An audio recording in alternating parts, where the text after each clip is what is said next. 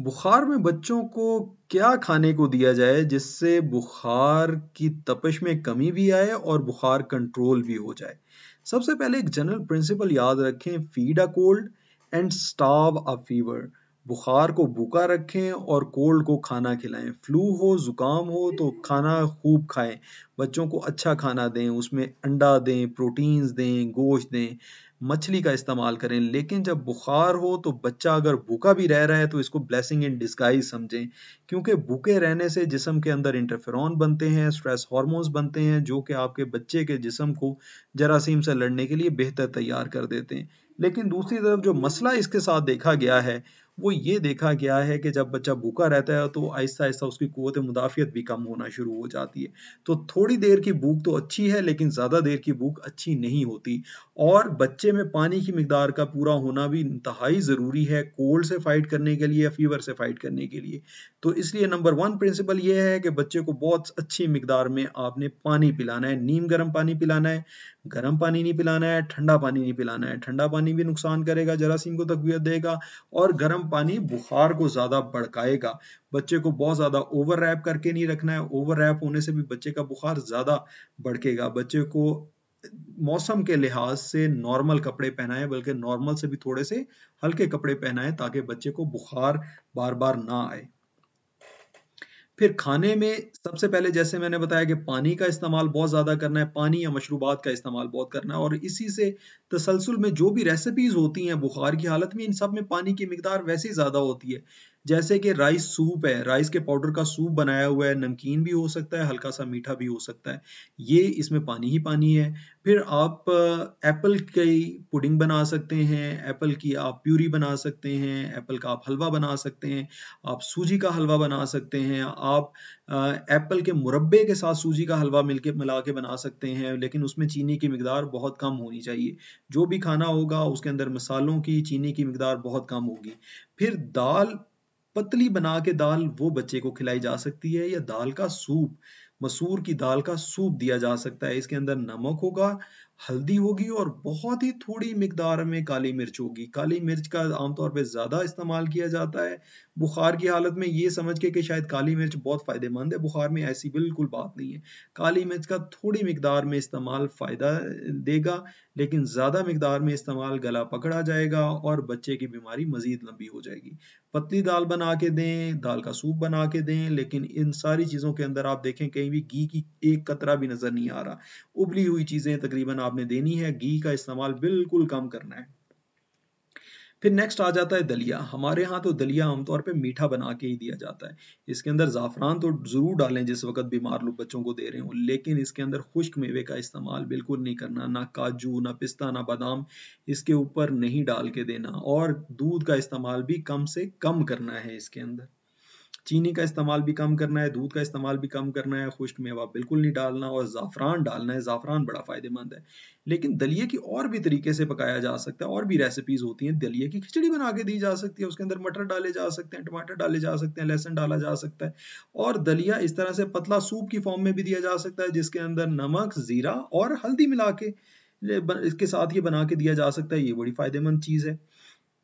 फिर राइस खिचड़ी बना के दी जा सकती है। राइस की खिचड़ी बिल्कुल पतली होनी चाहिए, इसके अंदर मूंग की दाल होनी चाहिए, इसके अंदर हल्दी होनी चाहिए, नमक होना चाहिए और बहुत ही कम मिकदार में काली मिर्च होनी चाहिए। काली मिर्च देखें, आपको नज़र भी नहीं आ रही।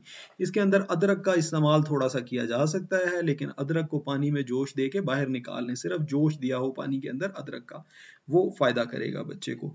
और इसके साथ इस्तेमाल धनिए का सब्ज धनिए का इस्तेमाल अच्छा रहता है। आपने अक्सर सुना होगा कि सब्ज धनिया ठंडा होता है बुखार में भी फ़ायदा देता है सब्ज धनिया। यखनी का इस्तेमाल सेंट्रल रोल है यखनी का, क्योंकि चिकन की यखनी जो है, चिकन कहते हैं ब्रायलर को। ब्रायलर मुर्गी को चिकन कहते हैं। चिकन की यखनी देखा गया साइंटिफिकली प्रूवन है कि चिकन की यखनी से गला खराब, खांसी, बुखार में फ़ायदा मिलता है। चिकन की यखनी हमारे जिसम में जाके वो तगैर तबादल करती है, जिससे हमारा बुखार कंट्रोल होता है और कुत मुदाफ़ियत आप होती है। इसके अंदर बिल्कुल भी घी इजाफी नहीं डालना, ये चिकन का अपना ही रोगन निकला हुआ है और इसका सिर्फ़ यखनी देनी है बच्चे को चिकन नहीं खिलाना साथ। हाँ अगर बच्चे का बुखार कंट्रोल हो रहा है और बच्चे को भूख लग रही है खुद से और वो चिकन मांग रहा है तो दे दें, कोई मसला नहीं है। चिकन का पीस भी दें उसको साथ। फिर तलबीना इस्तेमाल किया जा सकता है, तलबीना के नाम से भी आता है और पोरेज के नाम से भी आता है, जौ का दलिया, बारले का दलिया राय का दलिया जो है ये ये आता है मार्केट में अवेलेबल है और ये भी अच्छा है। फिर साबूदाना का इस्तेमाल किया जा सकता है, दोबारा बताता चलूँ, कम चीनी, कम दूध, बिल्कुल कोई ड्राई फ्रूट नहीं होना चाहिए इन सारी चीज़ों के अंदर। फिर सूप्स का इस्तेमाल, जैसे पहले मैंने बताया, उसकी कंटिन्यूएशन में चिकन सूप देंगे तो इस फॉर्म में देंगे। इसके अंदर चिकन पीस कोई नहीं है चिकन पीस नहीं होने चाहिए। और इसके ऊपर धनिया डाल के दिया जा सकता है, ये फ़ायदा करेगा आपके बच्चे के लिए। फिर वेजिटेबल के सूप्स दिए जा सकते हैं। इनकी थिकनेस आपने खुद कंट्रोल करनी है, अपने बच्चे की लाइकिंग के हिसाब से इसकी थिकनेस कंट्रोल करनी है। वेजिटेबल सूप किससे बनता है? इसमें गाजरें होती हैं, मटर होते हैं और आलू होते हैं। इन तीनों चीज़ों को और उसके ऊपर धनिया जो है वो डाला जाता है।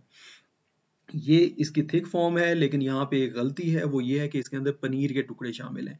पनीर के पनीर नहीं डालना, मक्खन नहीं डालना, इसके अंदर बिल्कुल नहीं डालना, बुखार की हालत में ये दोनों चीज़ें। फिर जो कन्वेंशनल सूप है चिकन कॉर्न सूप है, ये दिया जा सकता है बच्चों को। इसमें कॉर्न भी फ़ायदा करेगा, इसमें जो थोड़े छोटे छोटे छोटे चंक हैं चिकन के, वो भी बच्चे को फ़ायदा करेंगे और इसमें कॉर्न फ्लोर होता है, वो वो एनर्जी भी देगा बच्चे को और थोड़ी मिकदार में अंडा है, इसलिए वो भी नुकसान नहीं करेगा तो बच्चे को फ़ायदा रहेगा। अंडे का बेदरेग इस्तेमाल बुखार की हालत में या प्रोटीन्स का या गोश्त का बेदरेक इस्तेमाल बुखार की हालत में थोड़ा नुकसान कर सकता है, थोड़ा नुकसान कर सकता है। कोई ऐसा एविडेंस नहीं है कि बहुत ज़्यादा नुकसान करता है, लेकिन थोड़ा बुखार को ज़्यादा भड़का सकता है। फिर नूडल्स का सूप दिया जा सकता है। अब इसमें भी कुछ गलतियाँ हैं। नूडल्स वेजिटेबल का सूप दिया जा सकता है। अब इसके अंदर क्या गलती है जी कि पनीर के टुकड़े डाले हुए हैं चिकन के बहुत बड़े बड़े टुकड़े डाले हुए हैं। बिल्कुल छोटे टुकड़े साइज़ में होने चाहिए बच्चे को। ताकि बहुत ज़्यादा चिकन ना जाए, बच्चे के अंदर पनीर ना जाए, मक्खन ना जाए, किसी किस्म का घी या ऑयल ना जाए तो उससे बच्चे का बुखार कंट्रोल रहेगा। फिर नान का इस्तेमाल किया जा सकता है, लेकिन बगैर रोगन के, रोगन नहीं लगा होना चाहिए नान के ऊपर। नान का इस्तेमाल आप सादा शोरबे के साथ कर सकते हैं, आप यखनी के साथ कर सकते हैं, इन्हीं सूप्स के साथ कर सकते हैं, जो मैंने पीछे दिखाए हैं। वेजिटेबल सूप के साथ कर सकते हैं, आलू और मटर के सालन जो कि सूप की शक्ल में बना हो, उसके साथ इसका इस्तेमाल कर सकते हैं, नान का रोटी का इस्तेमाल कर सकते हैं। सादा राइस का इस्तेमाल किया जा सकता है, जो तड़के वाले राइस हैं, उसका इस्तेमाल मना है, सादा राइस का इस्तेमाल जो है वो ठीक है, तड़के वाले राइस भी खा सकता है बच्चा, ऐसा कोई नुकसान नहीं होता, लेकिन जहाँ पे प्याज जला हुआ होता है तो वो गले में खराश पैदा कर सकता है, मज़ीद और मज़ीद परेशानी जो है वो तूल पकड़ सकती है। तो सादा राइस खाएँ और या इसके ऊपर आप डाल सकते हैं थोड़ी मिकदार में दूध, या इसके ऊपर थोड़ी मिकदार में दही डाल सकते हैं, या इसके ऊपर जितनी हमने पीछे चीज़ें बताई हैं, सूप हैं, यखनी हैं, वो इसके ऊपर आप डाल सकते हैं और या आप चावल वाला सूप बना सकते हैं।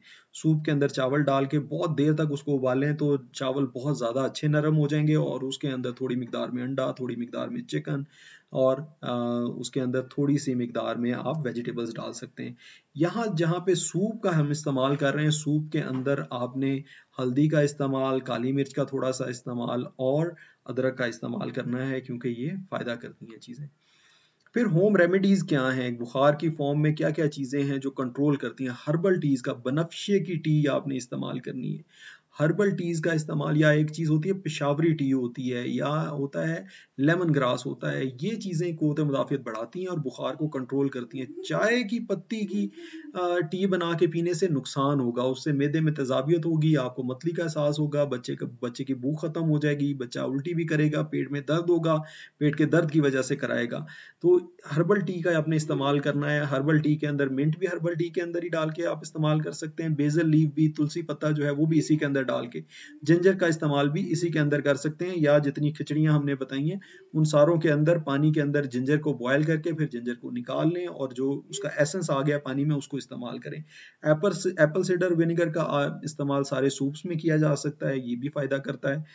बुखार को कंट्रोल करता है राइस वाटर का इस्तेमाल फ़ायदा करता है टर्मेरिक का इस्तेमाल हमने मल्टीपल चीज़ों में बता दिया कि इस्तेमाल किया जा सकता है। और कोल्ड कंप्रेसर्स या स्पॉन्जिंग कोल्ड स्पॉन्जिंग या टैपिड स्पॉन्जिंग बहुत ठंडे पानी के नीचे नहीं जाना चाहिए, बच्चे को या बड़ों को बिल्कुल नहलाना नहीं चाहिए। तेज़ बुखार की हालत में, बल्कि सिर्फ़ एक पट्टी, एक रुमाल लेके उसको नॉर्मल रूम टेम्परेचर के पानी से उसको गीला करें और बच्चे के जिसम पे फेरें ताकि उसका बुखार कंट्रोल हो जाए। माथे पे भी फेरें, सीने पे भी फेरें, पेट पे भी फेरें और कमर पे भी फेरें। ये ठंडे पानी से नहीं इस्तेमाल, ठंडे पानी का इस्तेमाल नहीं करना है। सिर्फ़ नॉर्मल रूम टेम्परेचर वाले पानी का आपने इस्तेमाल करना है। बच्चों में जहाँ पे भी बुखार को कंट्रोल करना हो। ये थी बस मेरी आज की गुजारिशात मुझे उम्मीद है आपको काफ़ी यूजफुल इन्फो इससे मिली होगी। थैंक यू वेरी मच वालेकुम